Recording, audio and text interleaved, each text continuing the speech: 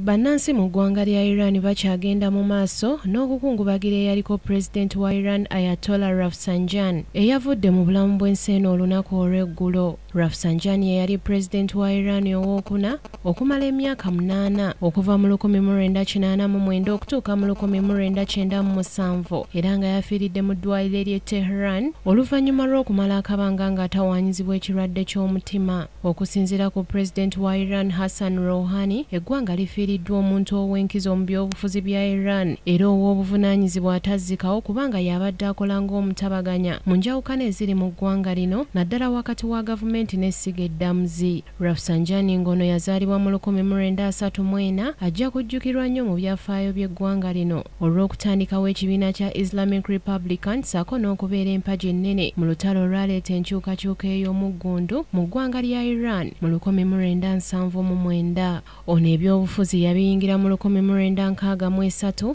era nga tannafuuka pulezidenti yasooka kubeera mukubiriza wa lukiiko lw'eggwanga olukulu okumala emyaka mwenda. Yaliko mmemba w'akakiiko ak'oku ntikko akaalondanga abakungu n'abakulembeze ab'oku ntikko mu bbanga ery'emyaka omunaana lye yamala ng'afuga iran yakulembeza nnyo enkulaakulana. Bizinensi ez'obwannannyini saako n'okuzimba enguudo. Gavumenti eri mu buyinza ng'ekulemberwamu pulezidenti hassan rouhan yalangiridde ennaku ssatu ez'okukungubaga ng'olunaku olwaleero lwaleeteddwa mu paalamenti. Ab'eŋŋanda bannabyabufuzi n'abakulembeze b'amadiini okumukubako eriisa evvannyuma olwo olunaku olw'enkya aziikibwe. Rafsanjani afiiridde ku gy'obu obukulu 82 era nga waaviiridde mu bulamu bw'ensi eno. Yabadde ssentebe w'olukiiko lwa expediency council olutabaganya paalamenti n'obukiiko obw'enjawulo